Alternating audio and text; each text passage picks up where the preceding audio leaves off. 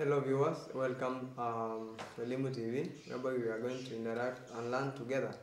We are going to have our biology from the lesson 16, whereby your tutor will be Mr. Jeremy. Uh, we are going to handle the topic on ecology and the subtopic on uh, population.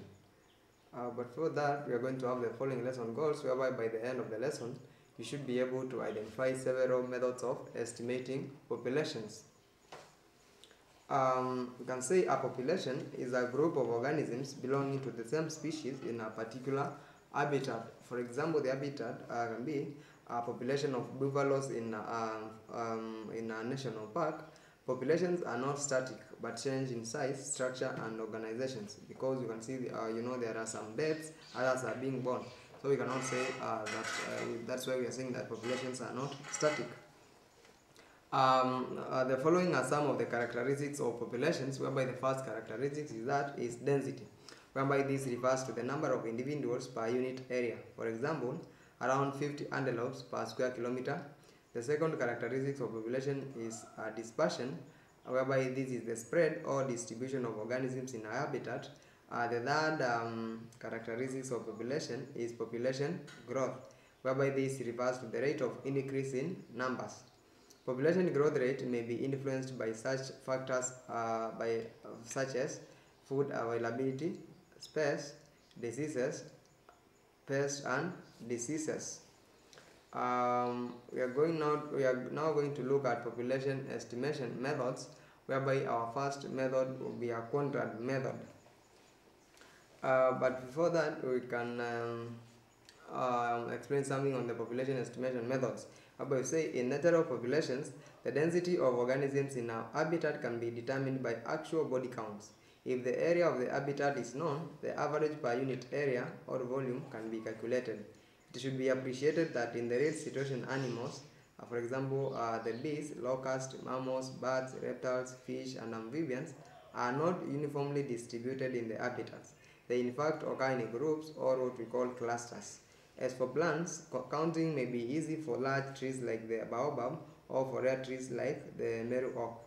In field studies, if you wanted to know the kind of animals and plants present in a particular habitat and how many of each species, it is usually impossible to count each and every one present.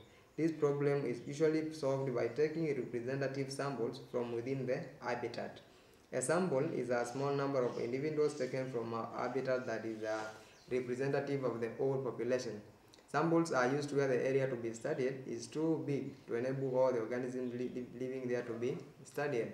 Therefore, only certain areas or positions can be investigated. For example, the distribution of water fleas along the length of a river.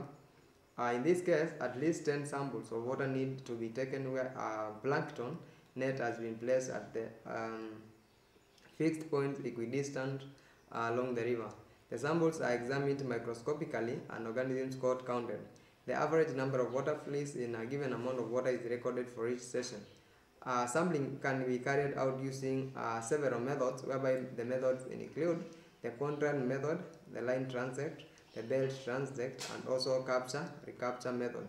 So in this case, we are going to look at the quadrant method. And we are saying that a quadrant is a square frame of known area made of wood or metal can have a diagrammatic representation of um, the, a quadrant. Uh, the standard quadrant is, is one square meter, but small quadrants can be used if only a small area is being studied. The quadrant can further be subdivided into uh, smaller squares by lengths of string or wire as shown um, in our diagram. The choice of the quadrant size uh, to be used depends on the area, the nature of the habitat, and the objective of the study. Uh, the quadrant method is suitable. Um, uh, this, uh, the quadrant method is suitable uh, for uh, small plants like the grass, the herbs, and small, slow-moving animals. Um, I would like us we look uh, we do something on um, to estimate population size using the quadrant method. I would like um, to show you how you are or you'll be using the quadrant. The first thing that you should you should do or the procedure one you select a suitable study area. 2. You mark the study area and measure its size. 3. Stand in the middle of the study area. Hold the quadrant aloft and draw it at random within the study area.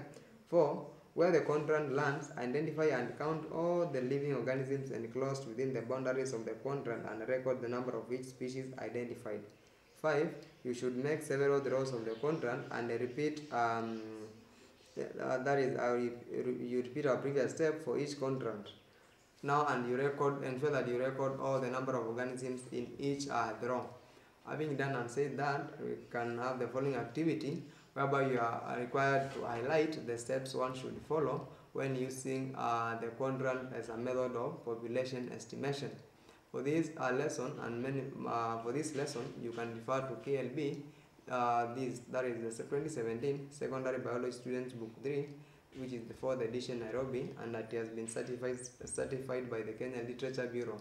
For this uh, biology lesson and many more of our biology lessons, you can uh, send us an SMS through the number that is appearing on our screen or you subscribe to our YouTube channel which is the Elimu TV or you can also subscribe to our Facebook page which is uh, also Elimu TV or you tweet us at Elimu TV uh, underscore Kenya. Let us subscribe to all these channels such that we might enjoy more of our biology lessons. Thank you.